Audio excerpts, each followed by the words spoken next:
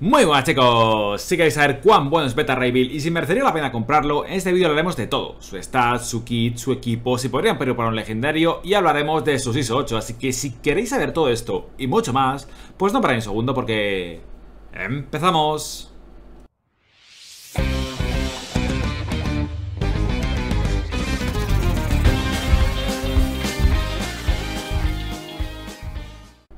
Muy buenas chicos, bienvenidos a un nuevo vídeo, soy Canex, si os aparece aquí no lo veis, da la autosuscripción, el que aparece por aquí, por la esquinita y a la campanita de notificaciones para que os avise con cada nuevo vídeo, intentamos enviaros las últimas novedades. Y ya salió, chicos, ya salió Beta Ray Bill, ya tenéis las ofertas, orbe por núcleos, etcétera, etcétera. Eh, obviamente, yo me encuentro de vacaciones en este momento, estoy aquí en la playita pasándolo bien, pero no voy a dejaros sin hacer el vídeo, con lo cual lo he grabado antes, obviamente esto es imagen de vídeo de pruebas, obviamente yo no tengo este beta reveal a 7 estrellas doradas, ya me gustaría, pero no. Entonces, pues bueno, eh, voy a grabar el vídeo para que lo tengáis todo, que sepáis del personaje, si merece la pena que compréis algún orbe por núcleos, alguna ofertita, lo que queráis vosotros. Si os mola el cara caballo, pues darle cañísima. Eh, nada más, vamos a ver un poquito el aspecto. Me parece que es perfecto. Es tal cual de los cómics, incluso el de las películas. Sí, salían las películas. Si os fijáis en este careto, eh, podéis encontrarlo en la película de Thor Ragnarok en, el Coliseo, donde se pegaban Thor y Hulk, pues ahí encontráis esta cara. Estuvo a punto de salir en esa peli y no salió por poquito, lo quería haber metido el director y al menos pusieron su, cara en, el Coliseo, como uno de los grandes ganadores del pasado. Decían que iba a aparecer en futuras películas, pero al final nunca he encontrado un hueco para él de momento, más que un cameo, un easter egg eh, de ese estilo. En cuanto a aspecto, me parece que está genial. Tiene además el martillo, el Stormbreaker original, este es el Stormbreaker original, es un martillo igual que el de Thor, que le dio Odin, y es tan digno como Thor, con lo cual es como un Thor de otro planeta. Es un Corbinate o algo así, es un, su planeta es Corbin, son los Corbinitas o algo así, no sé exactamente cuál es su especie, pero son estos cara caballo. Y bueno, en cuanto a sus rasgos, son los típicos que podemos esperar: héroe, cósmico, místico, Protector, es el protector del equipo del Bifrost Y es Asgardiano también, por alguna razón Es Asgardiano, aunque no es Asgardiano eh, Pues supongo que yo que sé, porque sí. Beligerantes por lo de la guerra. Nada más, eh, en cuanto a los estos es como muy normal eh, Vamos a ir a ms.g barra marvelstrikeforce.com Para ver sus stats y su kit.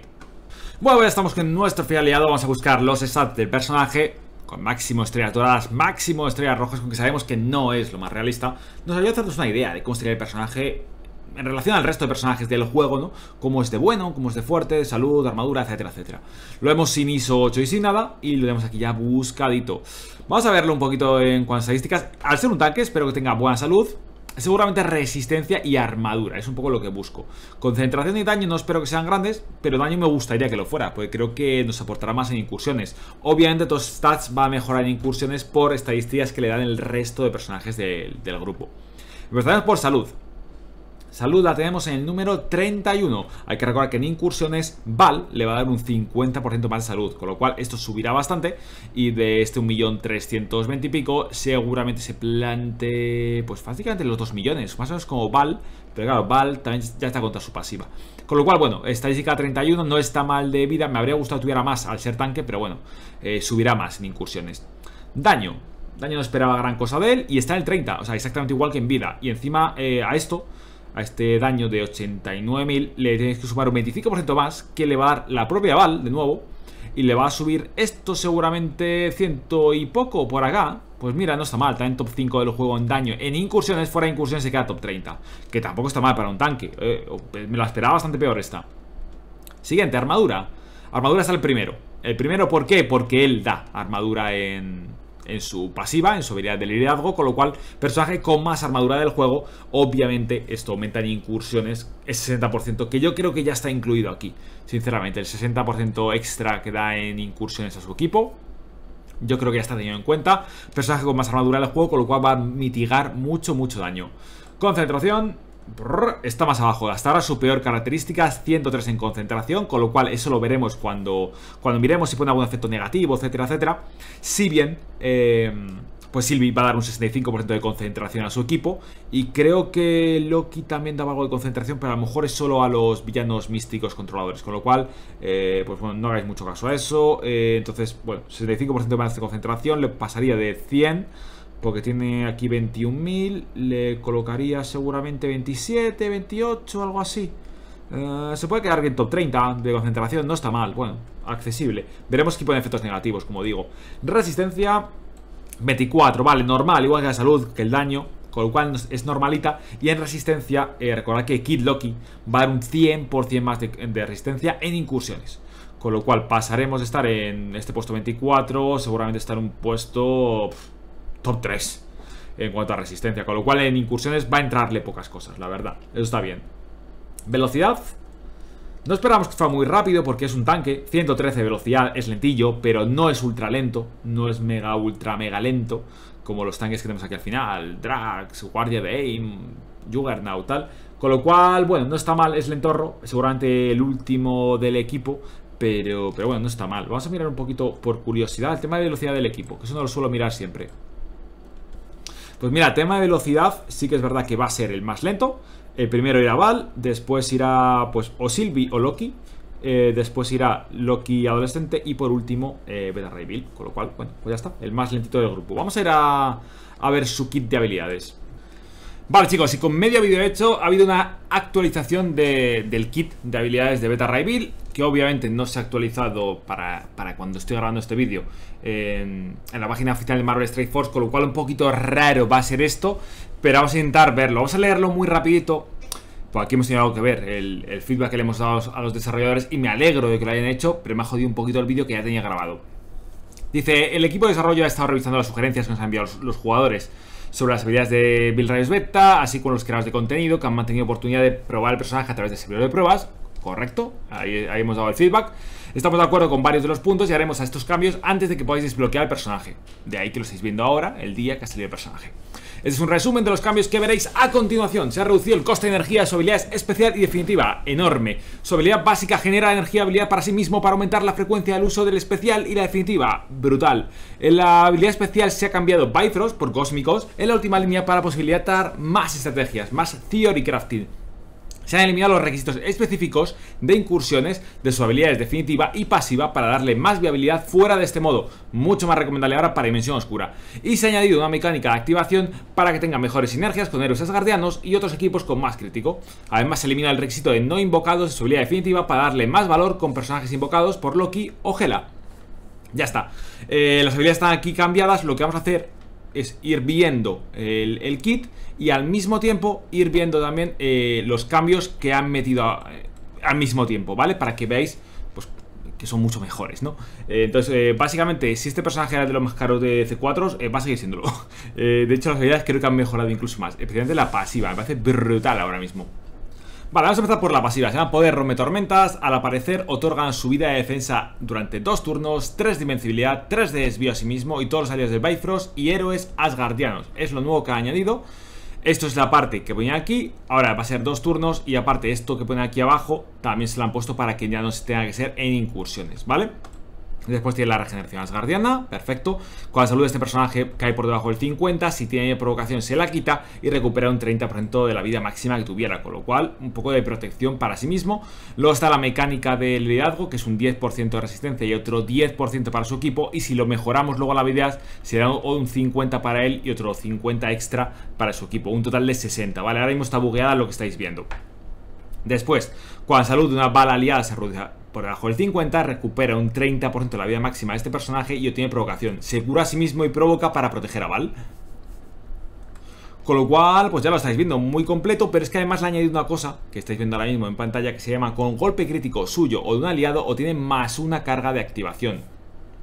¿Y qué hacen con esa carga? Pues bueno, que durante el turno de cualquier personaje, si este personaje tiene 4 más cargas de activación, ataca al enemigo con más salud, inflige un 200 de daño, aplica bajada de defensa a ese personaje y pierde 4 de activación.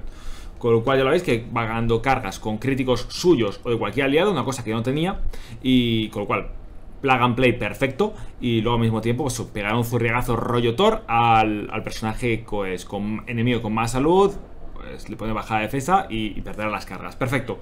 Eh, bueno, obviamente el 50% más de armadura y de... Y para tanto para él como para su equipo creo que es importante y no va a ser solo en incursiones, ¿vale? Que lo sepáis.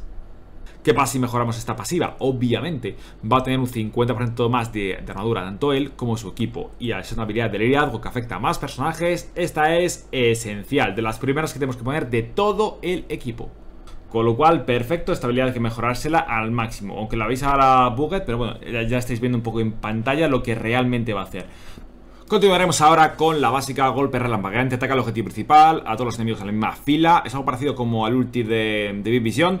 Por un 230 de daño, 35% eh, de daño contra objetivos con subida, defensa o regeneración, con lo cual un pequito daño extra. No sé si es 35 por una o la otra, o es o se pueden sumar las dos. Diría que es una o la otra. Haya una la otra o las dos es un 35%. Convierte además la subida de defensa y la regeneración de cada objetivo, con lo cual si las hay las va a convertir. Los enemigos con subida de defensa y regeneración no pueden bloquear ese ataque. Eh, las incursiones cuando este personaje contraataca o asiste, tiene regeneración o tiene un 100% de daño adicional para este contraataque o asistencia, igual que todos los miembros del equipo. ¿Y qué pasa si la mejoramos? Pues 70% más de daño principal y secundarios, que está bastante bien. 70 está por encima de la media y encima es, es, toda una fila. No iba a decir principal y adyacentes, es toda una fila. Con lo cual puede ser entre 1 y 5 objetivos. Entonces, bueno, no está mal, porque la subida de daño se multiplica y 15% de daño extra contra enemigos con subida de defensa o regeneración. Bueno, puede ser opcional, puede estar de lujo. No está mal, la subida de ataque es buena. Vas a subir un 50 más de daño. Creo que no está mal, la verdad, no está mal. El problema es que ahora esta habilidad también va a dar energía de habilidad y eso es muy potente. Es una cosa que le han añadido con el rework y también el ataque especial de ISO con ataque de asistencia también dará una energía de habilidad. Esto es para que utilice más frecuente especial y, ultimate. El problema es que no sabemos si esto eh, es necesario mejorarla o no al máximo y por tanto hay que aguardar si este C4 va a ser necesario o no. Si esto lo tenemos de normal, pues no lo mejoréis. Si es solo por el daño, me vas un poquito lo que iba a decir en este vídeo, ¿vale? No la mejoréis. Que lo de energía de habilidad está atado a tener que meter el C4 a la básica, entonces quizás sí convenzca. En cuanto al ISO 8, pensaba decir este personaje incursor, pero si esto lo hace con ataque de ISO... Mm, atacante también me puede gustar mucho Para que haga sus ataques constantemente Y consiga el doble de energía cada vez que haya marquitas ¿no? La verdad es que sería muy muy potente Pero claro, teniendo en cuenta el tema de los críticos Como hemos visto más abajo Quizás siga viéndole como, como incursor pero por desgracia no creo que llegue a esencial, así que la voy a dejar como opcional, de lujo, buena. Estruendo Atronador es su habilidad especial, coste 6 de 6, habilidad de primer turno, ataca al objetivo principal y adyacentes por un 350, otro multitaque, 50% de probabilidad de aplicar aturdimiento al objetivo principal o tiene provocación dos turnitos, con lo cual es la habilidad de tanqueo y otorga más una subida de defensa hasta un máximo de 3 y dos desvíos, asimismo de todos los aliados del Bifrost. Buen ataque defensivo, eh, porque ataca y defiende al mismo tiempo, poniendo la provocación y subida de defensa para todo el mundo. ¿Qué obtenemos si la mejoramos? 70% más de daño principal y adyacentes, que es una buena subida igual que la anterior, pero es que además siempre aplica el aturdimiento y este control adicional es muy bueno, con lo cual esta obviamente esencial. Y acabamos con acorazado Scuttlebutt, que es la nave de de ese señor, de Beta Ray Bill en los cómics. Ataca a todos los enemigos por un 420 de daño, 25% de daño adicional por cada efecto positivo que tenga, algo similar al, de Sanchi. Entonces no entiendo que te habrá que tarjetear al que más daño tenga, no creo que lo aplique a cada objetivo, sino al que tú tarjeteas, al, que tú pones el, el circulito. Convierte todos los efectos positivos de cada enemigo en hemorragia Una conversión brutal Y he visto que la concentración no era el fuerte de este señor ¿Vale? Por mucho que se la mejoren es posible que esto no lo resistan de vez en cuando, ¿vale? Si este personaje tiene 4 más aliados asgardianos no invocados, el ataque tiene un 50% de daño extra. Bueno, no está mal. Eh, ¿Qué tenemos si lo mejoramos? 80% de daño a todos los objetivos, que ya es brutal, porque si utilizamos esto en segundo turno seguramente aún tengamos bastantes objetivos. En una cosa normal, en guerra, crisol, etcétera Habrá 5, con lo cual, bueno, esto es una subida de, de 400 de daño. Si hay más tras incursiones, que puede haber 10, 12, pues es una subida de 800 de daño o más, con lo cual me parece muy bruta y muy buena. En las incursiones en su lugar obtiene 25% de daño por cada efecto positivo que tenga. Esta parte hace que sea bastante mejor, porque lo vamos aquí y claro, eh, un 50% más de daño por efecto positivo. Si hay 5 efectos, un 250 más de daño a todo el mundo. Más los 500 que había 750 es muy gusto Esto hace mucho daño Por mucho que sea un tanque, esto hace mucho, mucho daño Creo que, creo que es necesario Creo que es esencial Sí que que las de daño no suelo ponerlas casi todas, pero para incursiones creo que va a ser útil. Entonces, como es donde vamos a utilizar el equipo, creo que este C4 es necesario. Quizás el que menos de los tres, pero bueno, creo que aún así es, esencial. Así que si tengo que poner un orden de prioridades, obviamente primero la pasiva porque afecta a todo el equipo, después iría al especial, después el ulti y por último la básica. Pasaremos a hablar de su equipo, su equipo es el equipo del Bifrost, equipo de místico de incursiones, el nuevo equipo que viene a reemplazar a los nuevos guerreros, Darkhold, Dormammu, Weaver, todo lo que usamos últimamente y que básicamente está nerfeado por culpa de las reglas estúpidas de, invasión. Más allá de esto, es posible que como tenemos que subirlos muy altos, pues nos los hagan que, sean, sean buenas defensas en, Crisol, en Guerra, creo que pueden ir bien. En Dimensión Oscura creo que Val puede ir bien, creo que incluso Beta Ray Bill puede ir bien en, Dimensión Oscura. Me lo estoy planteando de cara a, a la de 6, que los equipos de incursiones hay que potenciarlos dentro de los candidatos a la Dimensión Oscura 6. O sea, habrá que ver cuáles son los más caros, los C4 que no os coincidan, etcétera, etcétera. Los, eh, los materiales únicos que no os coincidan para no tener que repetir porque son muy muy escasos y bueno, luego aparte de esto no creo que tenga mucho uso en arena y ya está, se acaban los modos de juego. Con lo cual, bueno, equipo bueno, creo que es un equipo que no hay que skipear, que hay que invertir, a pesar de que no sea requisito para nada, pero creo que es necesario.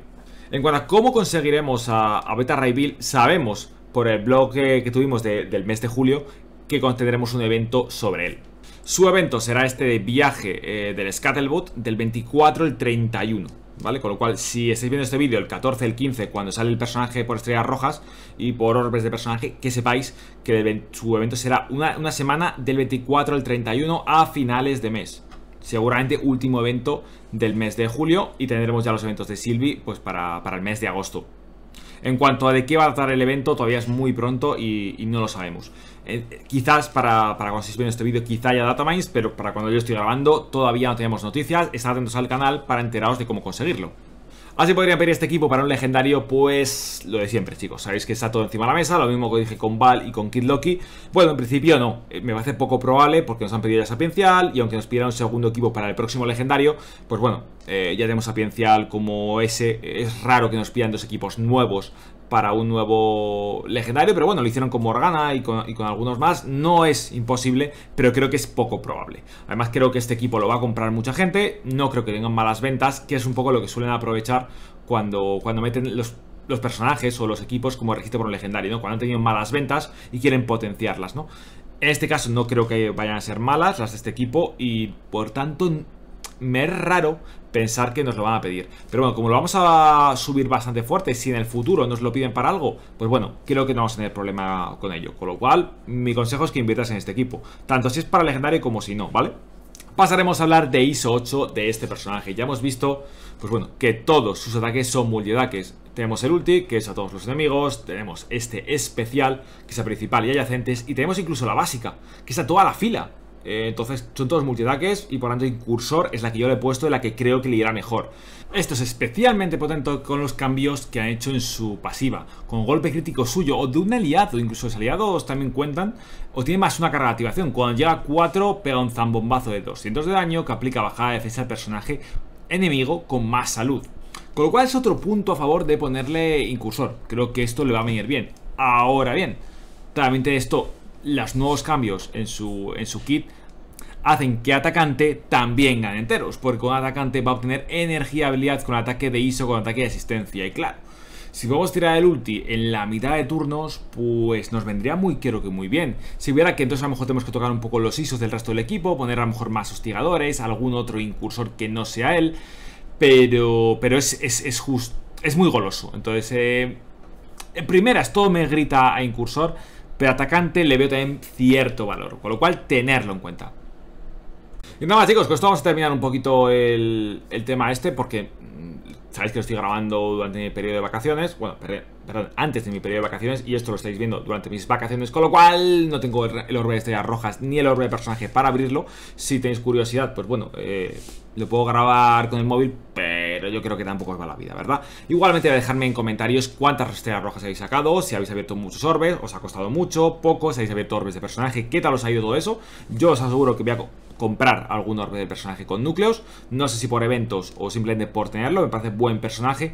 Y en cuanto a estrellas rojas, pues desearme suerte, a ver si consigo mejores o peores que vosotros.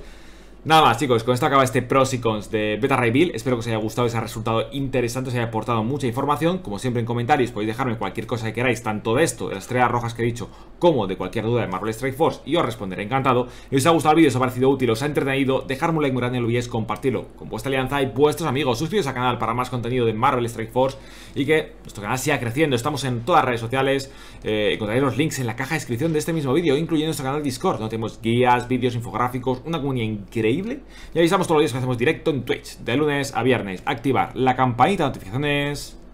Y nos vemos en la próxima.